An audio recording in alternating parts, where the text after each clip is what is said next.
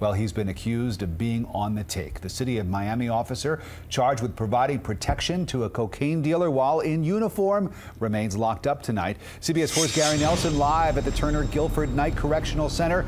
And Gary, just how much trouble is this cop potentially in?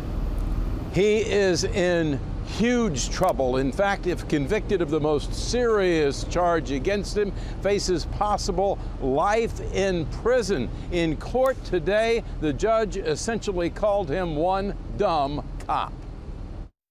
Two counts of armed cocaine trafficking. Miami police officer Jose Maldonado charged with trafficking in coke and taking bribes, wearing his badge in his marked Miami police car.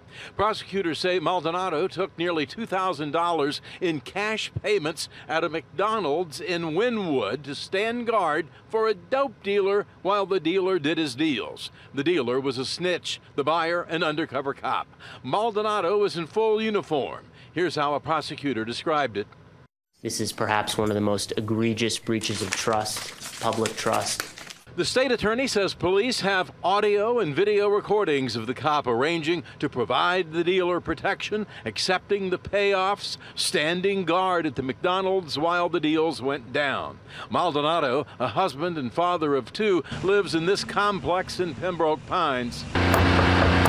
No one was talking there, but the cop's lawyer was. He's up. He um, has faith in his innocence. I do too. And um, obviously, right now, it's, uh, it's a bit of a circus. Judge Jorge Rodriguez Chomat was not entertained, telling the allegedly crooked cop. All I can say is incredibly stupid. And this officer who put people in jail for seven years on the force won't be behind the wheel of a squad car anytime soon. One and two would be no bond. He remains jailed, held without bail.